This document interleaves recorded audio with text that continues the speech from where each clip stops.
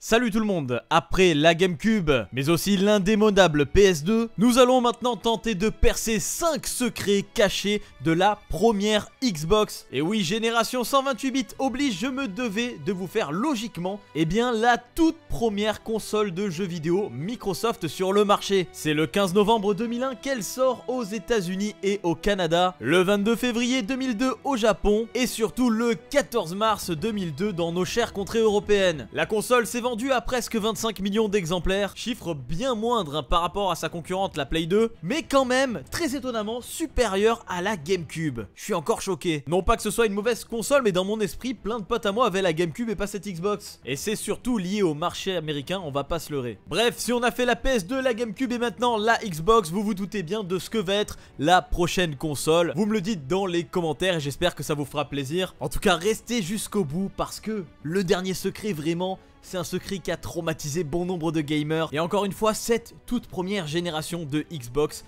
est remplie de secrets bien mystérieux. Allez, commençons tout doucement avec un premier secret sur cette Xbox première génération. Est-ce que vous étiez au courant qu'elle n'aurait pas dû s'appeler comme ça? En effet, Dean Takahashi, spécialiste de la Xbox, pas forcément réputé pour son niveau aux jeux vidéo...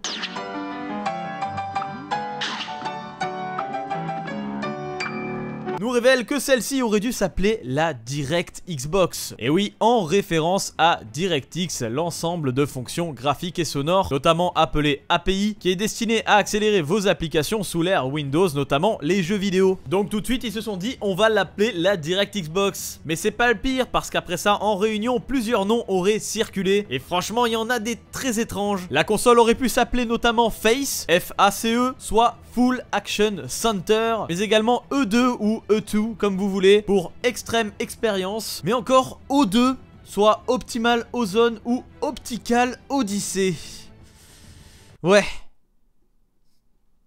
Wow. Et c'est pas fini car elle aurait pu s'appeler MTG comme Microsoft Total Gaming ou bien enfin AIO comme All-in-One. Bon les gars se sont quand même dit que ça allait trop loin et ils ont décidé de garder le nom Xbox en référence à Direct Xbox. C'est beaucoup plus court et plus simple, notamment pour faire référence au gros X sur la console. Ouais je trouve que ça sonne quand même mieux, hein. je sais pas ce que vous en pensez mais bon. Deuxième secret et on va s'intéresser maintenant aux fonctions même de la console pour laquelle il faut faire une manipulation bien particulière.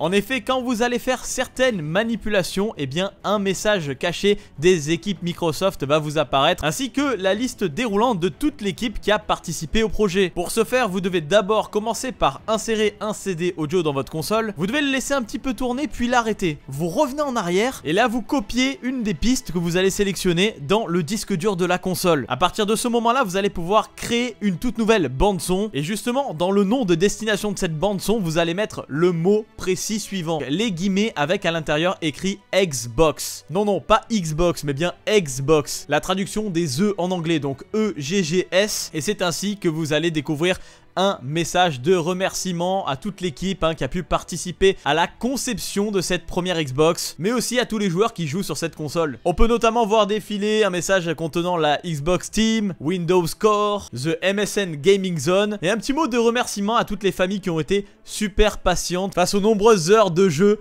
toléré sur cette euh, console. Troisième secret, eh bien nous allons parler de la sécurité enfant, le fameux mot de passe hein, que vous pouviez mettre sur la console afin de protéger les jeunes face à des jeux peut-être trop violents ou en tout cas non adaptés à ces chères petites têtes blondes. Eh bien sachez que certains ont réussi à trouver la combinaison secrète pour débloquer ce code parental. Il y avait en effet un mot de passe universel qui vous permettait de passer à travers les mailles du filet, un hein, petit malin Effectivement, plusieurs gamers, en faisant plein de combinaisons de touches pendant des heures et des heures parce qu'ils voulaient désespérément jouer à leur jeu, ont réussi à déverrouiller le système. Il vous suffit donc de faire X, Y, le bouton L et encore une fois X. On va vous demander de redéfinir un tout nouveau mot de passe instantanément.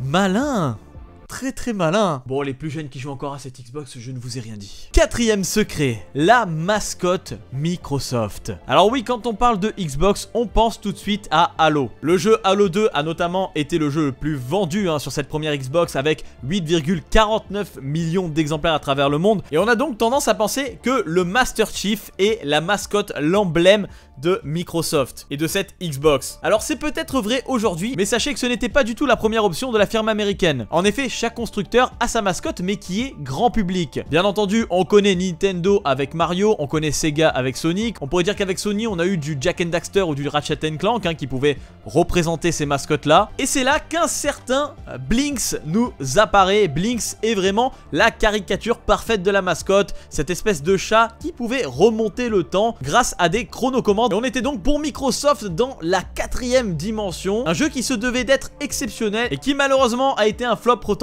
et vraiment très moyen. Et oui, en 2003 même, c'était Microsoft officiellement qui avait annoncé que Blinks allait être sa mascotte officielle, notamment pour essayer de plaire à un public japonais où on sait que la Xbox, eh bien, c'est toujours rétamé malheureusement. À tel point qu'il y a eu également un Blinks numéro 2. Pareil, voilà, flop au niveau des ventes, ça n'a pas du tout pris. Bien que Blinks 2 pour moi soit meilleur que le premier. Et pourtant, ce personnage a été créé par d'anciens membres de la Sonic Team. Tout avait été réuni. Le studio Artoon était présent. C'est vrai qu'il avait quand même un certain c'est dommage. Mais les jeux n'étaient clairement pas à la hauteur. Microsoft décidant même en 2015 de ne plus payer la redevance annuelle sur ses brevets liés à Blinks. Et oui, la protection des droits d'exploitation de la marque Blinks n'existe plus aujourd'hui.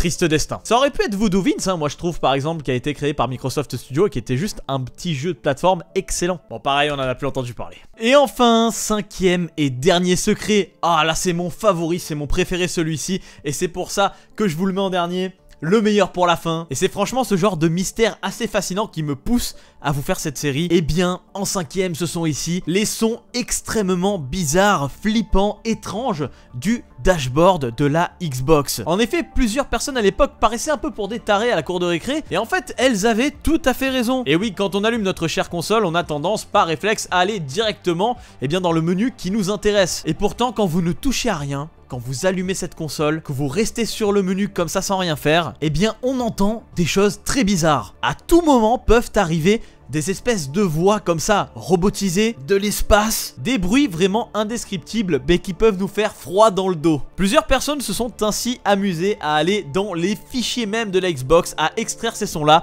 et regarder ce que l'on peut entendre. Voici quelques exemples.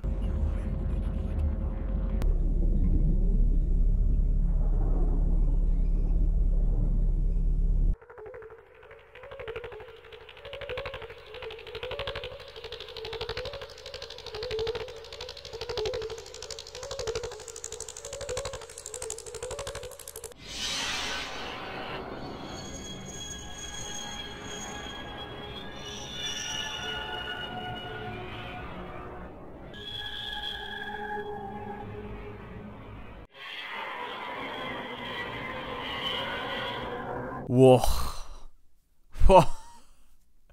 C'est dingue. Mais alors qu'est-ce que c'est que ça? Eh bien sachez que la réponse est arrivée pas plus tard qu'en 2014. Oui oui, quasiment 13 années après la première sortie de la console au State. Avec ce cher Larry Herb alias Major Nelson sur son Twitter officiel qui nous indique qu'en fait ces sons proviennent des diverses missions Apollo et des conversations que l'on peut entendre hein, dans celle-ci. On peut d'ailleurs accéder sur le site officiel de la NASA et bien sur ces sons là. L'équipe Xbox Team a donc pris ces enregistrements, les a retravaillés, retouchés et nous les a balancés sur le dash de la Xbox. Comment ils sont allés chercher tout ça? Sûrement des passionnés de l'espace quoi. C'est juste fascinant quand on y pense. Ça veut dire que des gars sont quand même restés sur le menu sans même toucher à la console pendant des heures. Oui parce que ça peut vraiment apparaître n'importe quand quoi. En tout cas ça a traumatisé bon nombre de gamers étant jeunes. Voilà donc pour ces 5 secrets sur cette autre console 128 bits qui a lancé aujourd'hui la marque que l'on connaît tous. J'espère que ces révélations vous auront plu. N'hésitez pas comme toujours à m'encourager à continuer cette série sur d'autres consoles en mettant le pouce en l'air, ça ferait vraiment plaisir. Vous avez été plus de 110 000 sur les secrets cachés de la PS2 et je vous en remercie infiniment. Merci à tous ceux qui nous rejoignent sur la chaîne grâce à cette vidéo également. Et j'ai bien pris en compte vos votes pour la Nintendo DS, ne vous inquiétez pas. Mais je pense qu'on va rester dans une certaine logique et vous faire ensuite la Dreamcast. On passera après à une autre génération de consoles. Ce sera mieux de le faire dans cet ordre-là. N'hésitez pas à aller checker les autres vidéos sur les secrets, la GameCube et la PS2 et à vous abonner à la chaîne si le cœur vous en dit. C'était Conquerax au rapport et le monde du jeu vidéo est plein de mystères. Allez bye tout le monde, très très bonne semaine à tous.